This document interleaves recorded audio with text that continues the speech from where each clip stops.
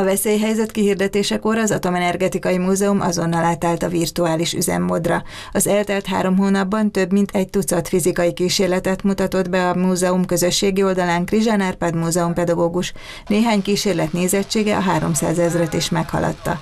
Az idén online tartották meg a Tellerede fizika versenyt, néhány feladat jelentős üzenetértékkel bírt, például a megújuló energiaforrásokkal kapcsolatban egyáltalán nem az volt a lényeg, hogy az atomerőműről meg az atomenergiáról szóljon a verseny. Ez egy fizika verseny, és a fizikai jelenségek kapcsán tényleg eljutottak a gyerekek erre a következtetésre. Tehát ők annyit kaptak feladatnak, hogy nézzék meg, hogy mire tudják a megújulót használni.